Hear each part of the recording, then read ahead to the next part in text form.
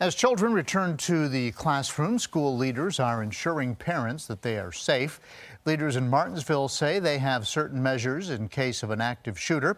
One is a gunshot detector system. So when a gunfire, a gunfire, yeah, is detected, the uh, text message would be sent directly to law enforcement. The other is having window armor designed to protect students and faculty from gunfire. It's a product that uh, we're, we're implementing. Uh, we have it in some of our buildings. Uh, we're working to finish out the school division.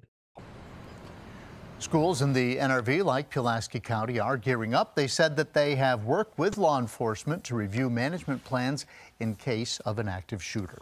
Our administrators do a great job of evaluating it and training their teachers on what our response will be. Pulaski County Schools said the teachers are also trained to manage students in active shooter situations.